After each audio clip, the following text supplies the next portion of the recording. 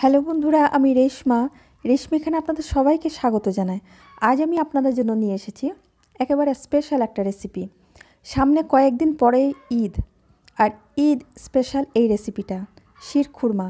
কারণ শির খুরমা বা সিমুই ছাড়া ঈদ একেবারে অসম্পূর্ণ থাকে। আর এই শির খুরমাটা আমি বাড়িতে যেভাবে তৈরি করি, সেটা আজ আমি আপনাদের সাথে শেয়ার করব। এটা ভীষণই টেস্টি হয় খেতে, এটা বানানো ভীষণ সহজ। অনেকে অনেক রকমভাবে করে কিন্তু আমি যেটা করি, সেটা আজ আমি আপনাদেরকে দেখাবো। আর আমার যারা পুরনো বন্ধু, তাদেরকে আমি অনেক অনেক ধন্যবাদ জানাচ্ছি আমার সাথে থাকার জন্য। আর যারা আমার নতুন বন্ধু, আমাকে এখনও সাবস্ক্রাইব করেননি, তারা প্লিজ আমাকে সাবস্ক্রাইব করে দেবেন এবং পাশে থাকা বেল আইকনটা অবশ্যই প্রেস করবেন, যেন আমার আপলোড করা ভিডিওর নোটিফিকেশানগুলো সবার প্রথমে আপনাদের কাছে পৌঁছে যায়। আর এই ভিডিওটা আমি আপনাদের সবাইকে প্রথম থেকে শেষ অবধি দেখার জন্য অনুরোধ করছি।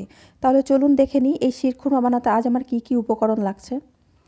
এখানে দেখুন প্রথমে আমি চোদ্দ পনেরোটা মতো আমি আমন্ড নিয়ে নিয়েছি আলমন্ড বাদাম। এই বাদামটাকে আমি প্রথমে আমি জল দিয়ে ভিজিয়ে রাখব আধ ঘণ্টা মতো।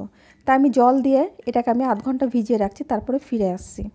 আধ ঘণ্টা পর ফিরে এলাম, দেখুন আমার আমন্ডগুলো ভিজে গেছে বা এর খোসাটা পাতলা হয়ে গেছে। এবার আমি এই আমন্ডের খোসাগুলো কিন্তু এইভাবে ছাড়িয়ে নেব। এটা ছাড়ানো ভীষণই সহজ। এটা ভালো মতো ভিজে গেলে কিন্তু এইভাবে খুব সহজে, খুব ইজিলি আপনারা ছাড়িয়ে নিতে পারেন। দেখুন এইভাবে আমি খোসাটাকে ছাড়িয়ে নিচ্ছি।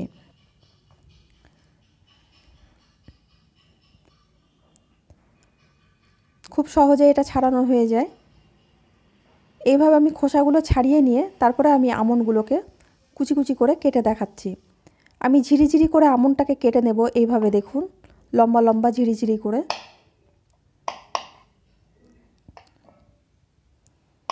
এইভাবে সমস্ত আমনগুলোর খোসা ছাড়িয়ে আমি কেটে নিয়ে তারপর আমি আপনাদেরকে দেখাচ্ছি।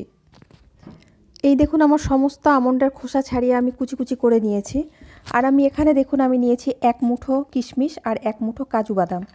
আমি এই কাজু বাদাম আর কিশমিশটাকেও কিন্তু আমি কুচি কুচি করে আমি ঝিরিঝিরি করে কেটে নেব। প্রথমে আমি কাজুটাকে আমি কেটে নিচ্ছি, দেখুন এটাকে আমি মাঝখান থেকে প্রথমে ফালি করে নিলাম। ফালি করে নিয়ে আমি এটাকে লম্বা লম্বা করে যতটা সম্ভব লম্বা করে আমি এটাকে ঝিরিঝিরি করে কেটে নিচ্ছি। এইভাবে কিন্তু আমি সম্পূর্ণ কাজুটাও কেটে নেব, তারপরে কিশমিশগুলো আমি কেটে নেব। কেটে নিয়ে তারপর আমি আপনাদেরকে দেখাচ্ছি। এই দেখুন আমার আমন্ডও কাটা হয়ে গেছে, কাজু বাদামও কাটা হয়ে গেছে, আর কিশমিশও কাটা হয়ে গেছে। আর এদিকে দেখুন আমি সিমুই নিয়ে নিয়েছি। আমি এখানে দেড়শো গ্রাম মতন সিমুই নিয়েছি। এগুলো বাজারে অ্যাভেলেবেল পাওয়া যায়। একদম সরু সরু, পাতলা পাতলা, মচমচে যে সিমুই সেইটা আমি নিয়ে নিয়েছি। আর আমি গ্যাসে কড়াই বসে কড়াই গরম করে নিয়েছি। তাতে আমি দিয়ে দিলাম এক টেবিল চামচ মতন জমানো ঘি।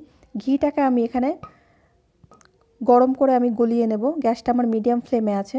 ঘিটা যেহেতু আমার ফ্রিজে ছিল, তাই খুব জমে শক্ত হয়েছিল, সেটা গলে কিন্তু দুই টেবিল চামচ মতন হয়ে যাবে। ঘিটা গরম হয়ে গেলে প্রথমে আমি আমন কুচিটা দিয়ে দিলাম। আমন কুচি দেওয়ার পরে এবার আমি দিয়ে দেব কাজু বাদাম কুচিটা। আমন্ড আর কাজু দিয়ে আমি এক মিনিট মতন এটাকে নেড়ে চেড়ে প্রথমে আমি ভেজে নেব।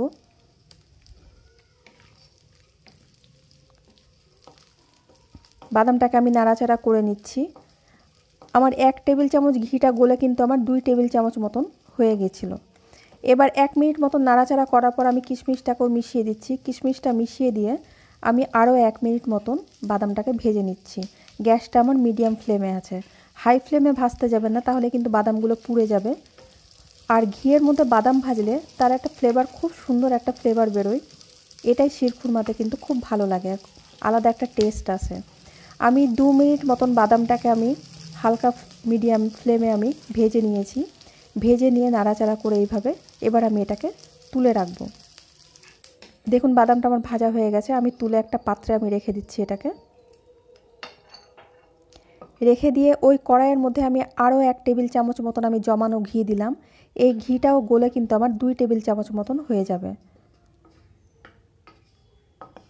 আমি আগেই বলেছি ঘিটা আমার ফ্রিজে রাখা ছিল। এবার এই ঘিটা গরম হয়ে যাওয়ার পর আমি যে সিমুইটা দেখালাম আপনাদের, সেই সিমুইটা আমি দিয়ে দিচ্ছি কড়াইয়ের মধ্যে। দিয়ে সিমুইটাকে আমি প্রায় দুই থেকে তিন মিনিট মতন আমি খুব ভালো করে আমি উল্টিয়ে পাল্টে আমি ভেজে নেব এই ঘিয়ের মধ্যে। প্রয়োজন মতন দুই হাতও লাগাতে পারেন, দুটো চামচ দিয়েও আপনারা এইভাবে উল্টিয়ে পাল্টে শিমুইটাকে ভাজতে পারেন। দেখুন, আমিও দুটো চামচ দিয়ে আমি এইভাবে উল্টিয়ে পাল্টে আমি শিমুইটাকে ভেজে নিচ্ছি। গ্যাসটা কিন্তু এখন আমার মিডিয়াম ফ্লেমে আছে। শিমুইটা যেন পুড়ে না যায়, সেদিকে খেয়াল রাখবেন।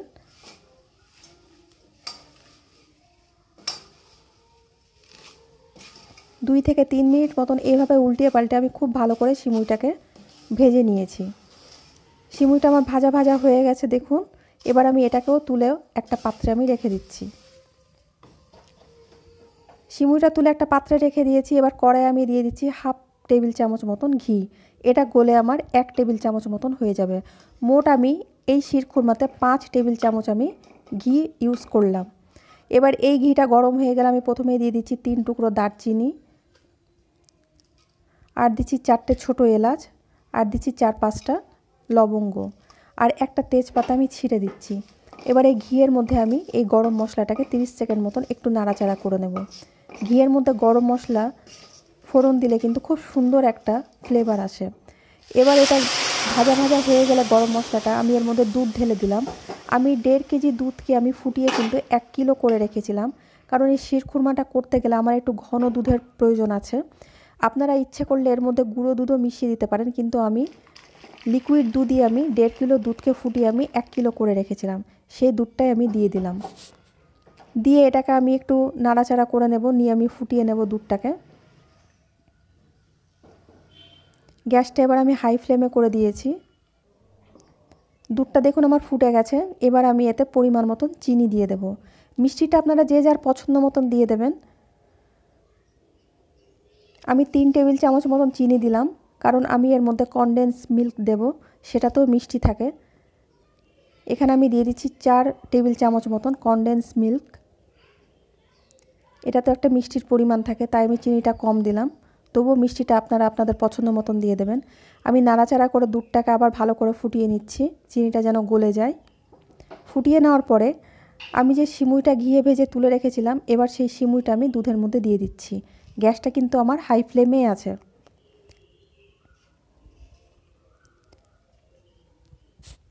সিমুইটা দেওয়ার পরে আমি নাড়াচাড়া করে দুধের সাথে খুব ভালো করে মিশিয়ে দেব।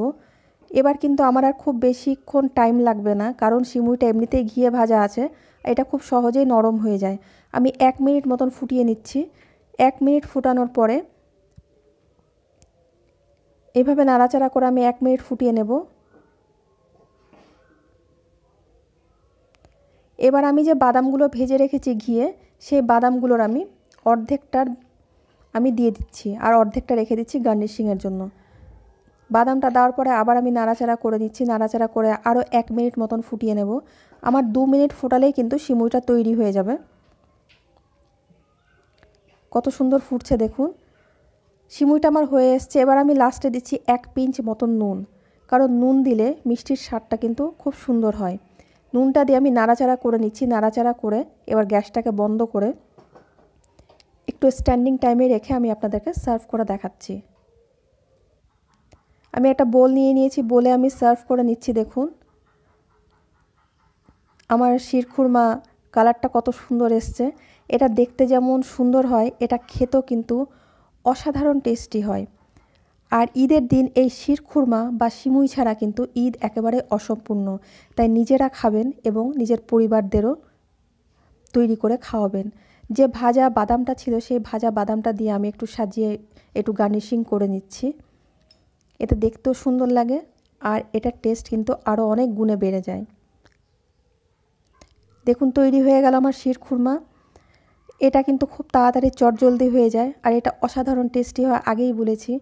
তাই এই রেসিপিটা আপনাদের কেমন লাগল অবশ্যই আমাকে কমেন্ট বক্সে জানাবেন।